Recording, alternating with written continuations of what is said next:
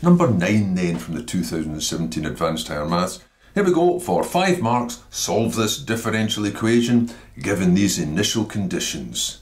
Express y in terms of x, as you would. Well, it's just a little first order differential equation. You've only got the first derivative there. And quite conveniently here, look, you've got two separate factors. One involving only x, one involving only y. That means you can separate them quite easily. I'll take the y's over to this side to join its differential dy. It'll have to go underneath it. And I'll take the dx over to this side. e to the 2x dx. Separate the variables. Now they're ready to go, so let's integrate them up and collect the first mark. Now the next part is, these are readily identifiable. That's inverse tan.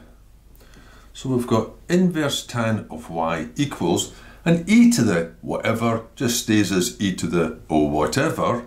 But since it's a function of a function, the inner derivative is 2, and if you're integrating, that will be divided by that 2, so that's a half of it, plus c. Doing that gets 2 marks because you get 1 for integrating each side. 3 marks so far. Now, you could tidy up and gather the c along with it, but you're better off working out the c as soon as it rears its head. It's usually simpler that way. So I'll pop in my initial conditions. Inverse tan of y, that'll be inverse tan of 1. A half of e to the 2x, that's a half of e to the 0 plus c.